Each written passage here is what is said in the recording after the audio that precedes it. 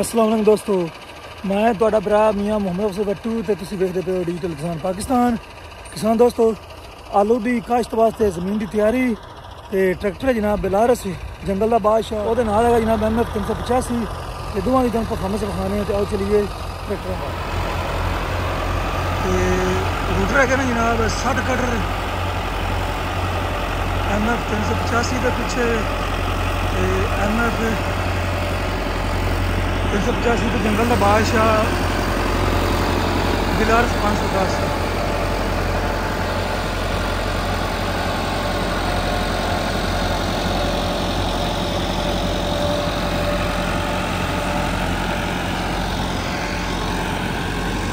ਤੇ ਕਿਸਾਨ ਦੋਸਤੋ, ਇਹ ਸਾਰੇ ਪਲਾਟ ਜਿਹੜੇ ਨੇ ਨਾ, ਆਲੂ ਦੇ ਹੀ ਹੈਗੇ ਨੇ।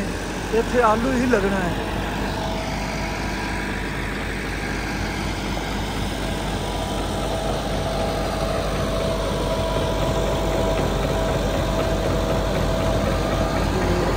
ਬਾਸ ਦੋਸਤ ਕਹਿੰਦੇ ਹੈਗੇ ਨੇ ਜਨਾਬ ਪਈ ਹੋਈ ਜ਼ਮੀਨ ਦੇ ਵਿੱਚ ਜਿਹੜਾ ਟਰੈਕਟਰ ਬਬਲਿੰਗ ਕਰਦਾ ਹੈਗਾ, ਰੋਲਰ, ਬਈ ਹੋਈ ਜ਼ਮੀਨ ਦੇ ਵਿੱਚ ਨਹੀਂ ਕਰਦਾ, ਤੁਸੀਂ ਆਪਣੇ ਚ ਵਿਖਾਓ। ਇਹ ਹੁਣ ਕੰਪਿਊਟਰ ਬਾਈਟਰ ਨੂੰ ਚੈੱਕ ਕਰ ਲਓ। ਇਹ ਹੁਣ ਮਤਲਬ ਵੀ ਬਈ ਹੋਈ ਜ਼ਮੀਨ ਵਿੱਚ ਆ ਟਰੈਕਟਰ ਤਿਆਰ ਹੈ। ਇਹਦੇ ਵਿੱਚ ਮਾਮਲਾ ਹੈਗਾ ਹੈ।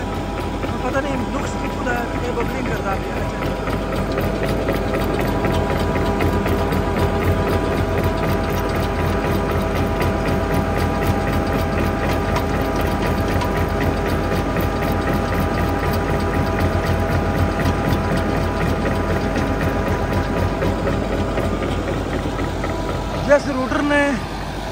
ਬਬਲਿੰਗ ਕਰਨੀ ਹੁੰਦੀ ਹੈ, ਉਹ ਦੱਸ ਦਿੰਦਾ ਹੈ, ਖਾਸ ਜ਼ਮੀਨ ਤਿਆਰ ਹੋਵੇ, ਉਹਦੇ ਵਿੱਚ ਫੇਰਿਆ ਜਾਵੇ ਜਾਂ ਤਿਆਰ ਨਾ ਹੋਵੇ।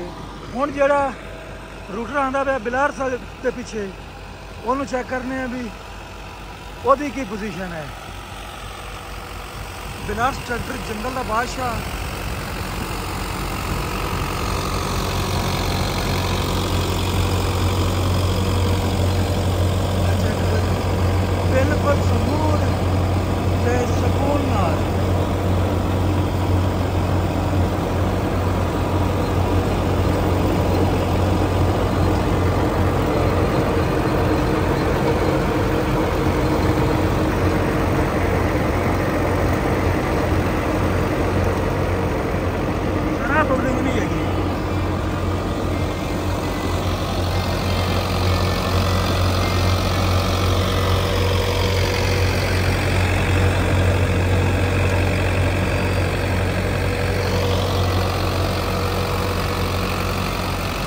ਜੰਗਲ ਦਾ ਬਾਦਸ਼ਾਹ ਜਨਾਬ ਆਰਾਮ ਨਾਲ ਚੱਲਿਆ ਹੈ।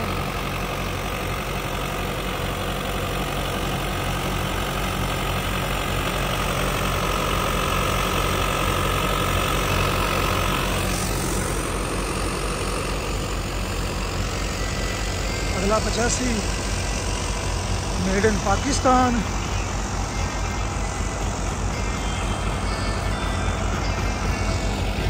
ਮੈਂ ਆਪਣੇ ਵੀਰ ਭਰਾ ਨੂੰ ਦੱਸਦਾ ਚਲਾਂ। ਮਾਜ਼ਰਤ ਗਲਾ ਖਰਾਬ ਹੈ। ਉਹ ਸਾਹਮਣੇ ਇੱਕ ਇੱਕ ਕਿੱਲਾ ਜਿਹੜਾ ਨਾ, ਉਹ ਜਿਹੜੀ ਤੁਹਾਨੂੰ ਆਲੂ ਦੀ ਪੂਰੀ ਨਜ਼ਰ ਆਉਂਦੇ ਪਈਆਂ ਨੇ ਤੇ ਇੱਕ ਕਿੱਲਾ ਉਹ ਤੱਕ ਨੂੰ ਘੜਲੀ ਪਈ ਹੈ। ਤੇ ਮਤਲਬ ਇਹ 50 ਕਿੱਲੇ ਦਾ ਪਲਾਟ ਹੈ ਤੇ 2-4 ਕਿੱਲੇ ਕਣਕ ਨਜ਼ਰ ਆਉਂਦੀ ਪਈ ਹੈ। ਤੇ ਬਾਕੀ ਹਰ ਕੋਈ ਆਲੂ ਵਾਲੀ ਸਾਈਡ ਤੇ ਕਨੌਲੇ ਵਾਲੀ ਸਾਈਡ ਤੇ ਸ਼ਿਫਟ ਹੋ ਗਿਆ। ਹੈ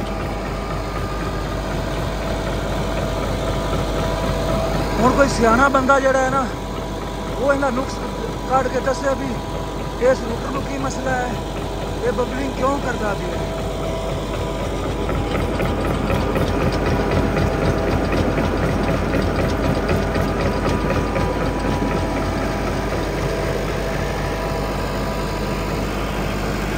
ਪਹਿਲਾ ਲੋਡ ਲੱਗਾ ਵਾ ਜਨਾਬ।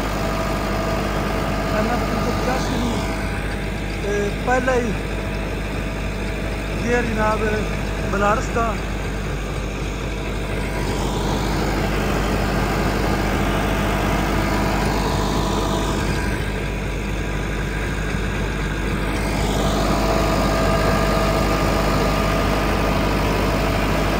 ਮਾਂ ਜਮਾ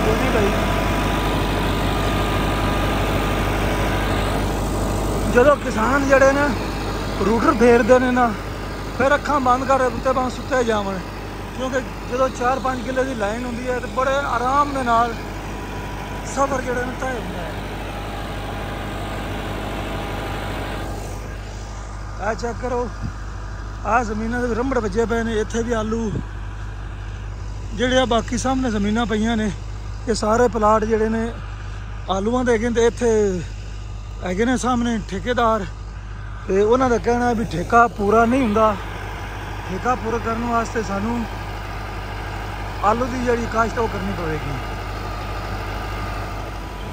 ਆਲੂ ਦਾ ਜਿਹੜਾ ਸੱਜਾ ਬੀ ਹੈ ਨਾ, ਮਤਲਬ ਸਟੋਰੇਜ ਕੱਢ ਕੇ ਫੌਰਨ ਲਾਈਏ, ਉਹ ਬਾਸ ਦੋਸਤ ਜਿਹੜੇ ਨੇ ਨਹੀਂ ਲਗਾਉਂਦੇ, ਉਹ ਕਹਿੰਦੇ ਨੇ ਵੀ ਉਹਦੇ ਨਾਲ ਨੁਕਸਾਨ ਹੁੰਦਾ, ਫਸਲ ਦੀ ਜਿਹੜੀ ਹੈ ਨਾ ਜਰਮੀਨੇਸ਼ਨ ਲੇਟ ਹੁੰਦੀ ਹੈ, ਤੇ ਉਹ ਘਾਟਾ ਹੈ ਇਸ ਵਾਸਤੇ।